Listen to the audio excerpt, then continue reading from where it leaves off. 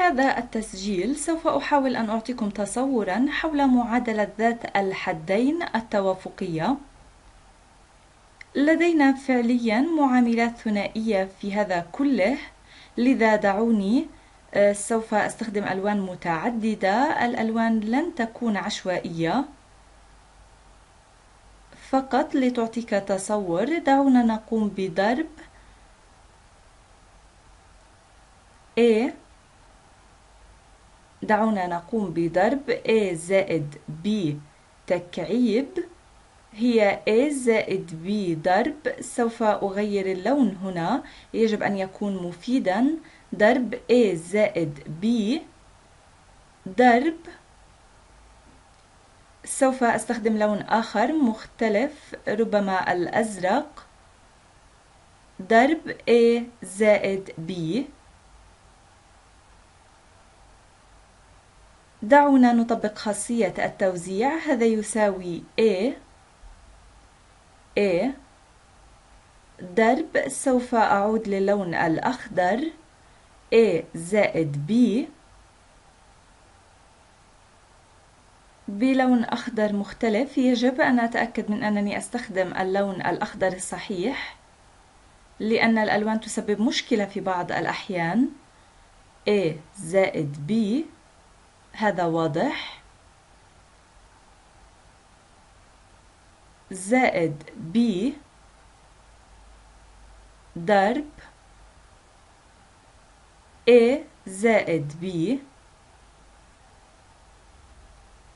ثم كل هذا مضروب ب A زائد B مرة أخرى. A زائد B. هذا صحيح. دعونا نقوم بضرب هذا الجزء الداخلي. سوف أحتفظ بالضرب خارجا. إذا سوف تكون A ضرب A باللون الأخضر.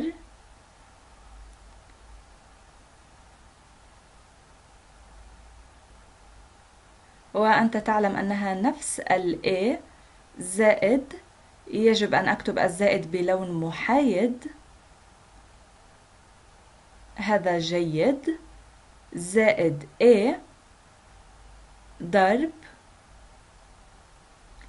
ربما تجد هذا واضحا لكن سوف يصبح معقدا في النهاية. A ضرب B. ثم لدينا زائد B ضرب A. B ضرب A. زائد B باللون الأصفر. ضرب B باللون الأخضر.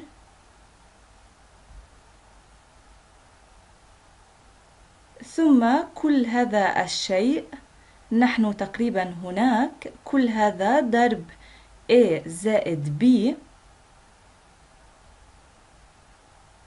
ثم من الضرورة أن نقوم بضرب A باللون الأزرق. هنا ضرب كل هذا الشيء زائد B باللون الأزرق ضرب كل هذا الشيء.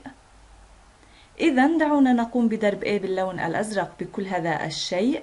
الحد الأول سوف يكون A باللون الأصفر A باللون الأخضر ثم A باللون الأزرق. إذا سوف تكون A A A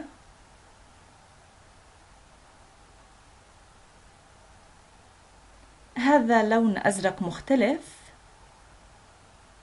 زائد هذا ضرب A باللون الأزرق.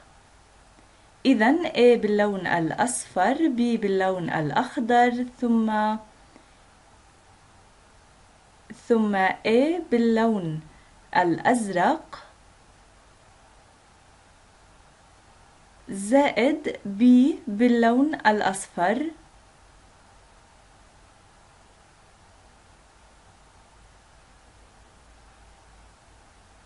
A باللون الأخضر.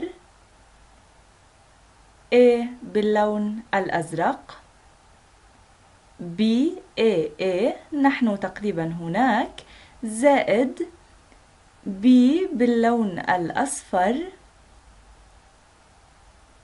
ضرب B باللون الأخضر ضرب A باللون الأزرق. لقد انتهينا من كل A باللون الأزرق. ضرب A باللون الأزرق. زائد الآن سوف أقوم بضرب B باللون الأزرق بكل شيء. A باللون الأصفر. ضرب A باللون الأخضر إذا A باللون الأصفر و A باللون الأخضر. ضرب B باللون الأزرق. أعلم أن هذا واضح. ضرب B باللون الأزرق. زائد A باللون الأصفر. التصور لا يأتي بسهولة. A باللون الأصفر. إذا أنا في هذا الحد. A باللون الأصفر و B باللون الأخضر و B باللون الأزرق. الآن نحن في B باللون الأصفر. الجيد في الألوان أنها تسهل عليك الحل وتجعلك تعلم أين أنت. زائد B باللون الأصفر. ضرب A ضرب A باللون الأخضر ضرب B باللون الأزرق. ثم الآن ننتقل إلى الأخيرة زائد B باللون الأصفر و B باللون الأخضر. ضرب B باللون الأزرق. إذا هذا هو توسع ل A زائد B للقوة ثلاثة. نحن لم نبسطها بشكل نهائي لكني قمت بهذا لسبب ما لأنك ترى أن كل حد هنا ماذا يحدث هنا؟ كل حد له بالضبط واحد إنه من ثلاثة أرقام مضروبة ببعضها. إذا كل حد مكون من ثلاثة أرقام مضروبة ببعضها. الرقم باللون الأصفر جاء آه، من الرقم الأول لهذه ال A زائد B. الرقم باللون الأخضر أو الرقم المتوسط جاء من A زائد B المتوسط هنا والرقم باللون الأزرق جاء من هذه ال A زائد B. ولقد رأيتموني وأنا أقوم بهذا لذا أتمنى أن تكون قد فهمت هذه النقطة. لذا دعونا نفكر بشأن هذه الأزواج بطريقة مختلفة لإنشاء كل هذه الحدود في توسيع A زائد B للقوة ثلاثة نحن نأخذ A أو B من A باللون الأصفر زائد زائد B. نحن نختار A أو B. نختار A هنا ونختار A هنا. لقد قمت باختيار B هنا و B هنا و A هنا و A هنا و B. ومن مجموعة A زائد B باللون الأخضر. لقد أخذت أيضا A أو B. ومن مجموعة A زائد B باللون الأزرق. لقد أخذت أيضا A أو B. أليس كذلك؟ لذا إذا فكرنا بهذا التوسع لقد قمنا بعمل كل طريقة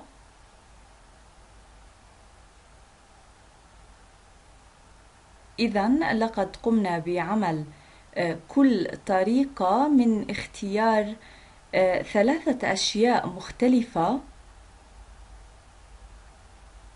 كل طريقة لاختيار A أو B من هذه الثلاثة حدود المختلفة وهذا ينتهي بهذه ما هذا الشيء؟ واحد اثنين ثلاثة أربعة خمسة ستة سبعة ثمانية حدود. أليس كذلك؟ الآن دعوني أقوم بهذا. دعوني أعطيكم تصور أكثر عن الذي يجري هنا. أعتقد أنكم بدأتم تدركون لماذا يتعامل هذا الشيء. مع التباديل والتوافيق بشكل خاص عندما نقوم بتبسيط هذا ماذا يحدث؟ هذه A للقوة ثلاثة أليس كذلك؟ هذه A للقوة ثلاثة الوحيدة هنا هذه A تربيع B أين A تربيع B الأخرى؟ دعونا نرى A تربيع B هذه أيضا A تربيع B دعوني أكتب كل A تربيع B دعونا نرى كم لدينا من A تربيع B هنا سوف أكتب هذا بلون حيادي. A تربيع B. هذه A تربيع B. هذه B A تربيع وهي نفسها A تربيع B. أين A تربيع B الأخرى؟ هذه أيضا A تربيع B وهي A ضرب A ضرب B. إذا لدينا ثلاث طرق للحصول على A تربيع B. لهذا قمنا بكتابة التوسع. نحن نعلم المعامل في بدايته. إنه ثلاثة A تربيع B. أليس كذلك؟ معامل الحد A تربيع B عندما أقوم بضربه خارجا. ولقد قمنا بهذا عدة مرات. في نظرية ذات الحدين وكنا نأخذ القوة الثالثة. إذا من أين جاءت هذه الثلاثة؟ ولماذا هذا نفس الشيء؟ كما تعلمنا تعريف آه نظرية ذات الحدين كما تعلمون أنه لا يحدث لمجرد أن يكون الحال هذا نفس الشيء مثل ثلاثة فوق اثنين ضرب A تربيع B. حسنا فكر بهذه الطريقة. كما تعلمون إن كل حد هنا نحن نختار A أو B. نختار A أو B من كل واحدة من هذه. علينا أن نختار حد واحد من كل واحدة من هذه. حسنا الطريقة التي يجب أن تفكر بها للحصول على A تربيع B. A تربيع B يجب أن نقول كم عدد التوافيق وهذه الكلمة الجوهرية كم عدد التوافيق لدينا؟ لدينا ثلاثة حدود A زائد B. أنا أختار حد A. أنا أختار حدين من A لأنه للحصول على A تربيع يجب أن نأخذ A مرتين أليس كذلك؟ يجب أن أختار حدين اثنين من A خارج الثلاثة حدود. مرتين أختار حد A. إذا خارج الثلاث مرات أنا أختار اثنين. ومن هنا جاء ثلاثة فوق اثنين. من حد A تربيع B. إذا يمكن القول بالنسبة ل AB تربيع.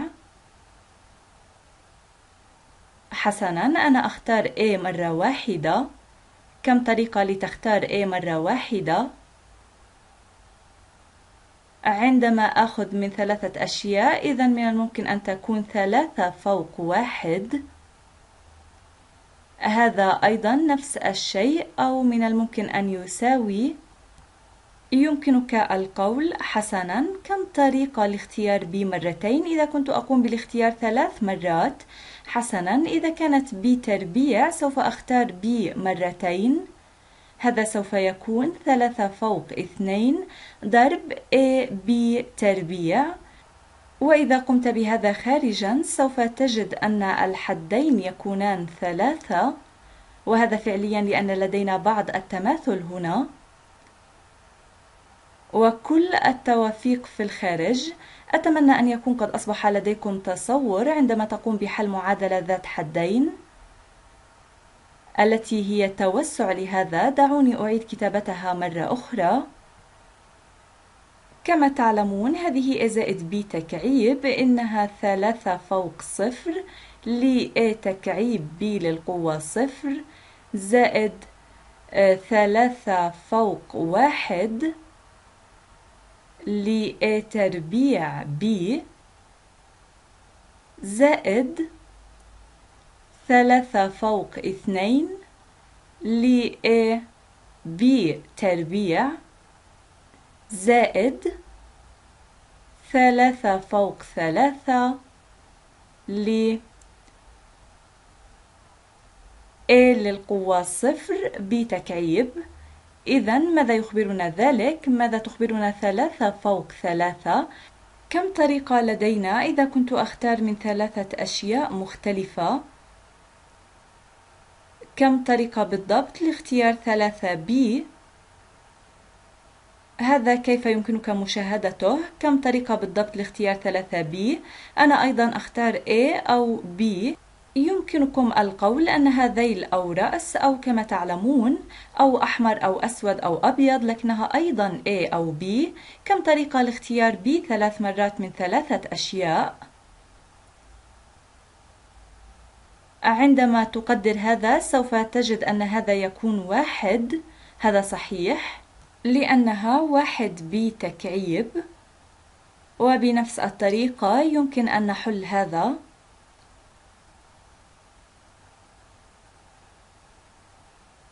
كم طريقة لدينا عندما أختار من ثلاثة أشياء؟ اخترت بالضبط صفر بي والتي هي ثلاثة فوق صفر. كم طريقة بالضبط للحصول على صفر بي حسنا وهذا بنفس الطريقة. كم طريقة بالضبط لاختيار ثلاثة A هذه أيضا واحد هناك طريقة واحدة للقيام بهذا وهذه الطريقة مرة أخرى هناك طريقة واحدة لحل هذه وهذه هي الطريقة هناك ثلاث طرق للحصول على A تربيع B. لدينا ثلاثة توافيق.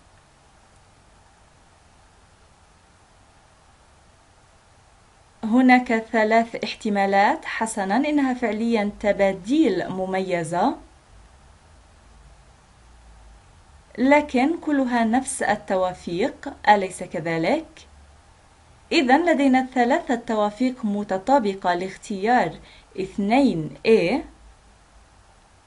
و B وهذه هي هذه وهذه وهذه أتمنى ألا أكون قد جعلتكم تتذمرون وأتمنى أن يكون هذا قد زودكم بتصور جيد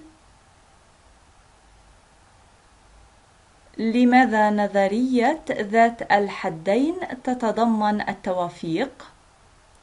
أو حتى لماذا نحل على التوافيق عندما نقوم بتوسيع الحدود لقوة معينة؟ أتمنى أن أكون قد أعطيتكم تصور عميق لماذا يحدث هذا الشيء؟ أراكم في التسجيل القادم